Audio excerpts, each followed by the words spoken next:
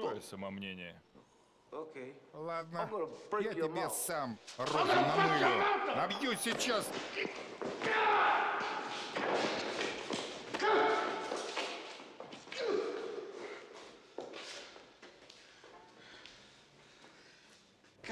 У тебя есть работа для меня?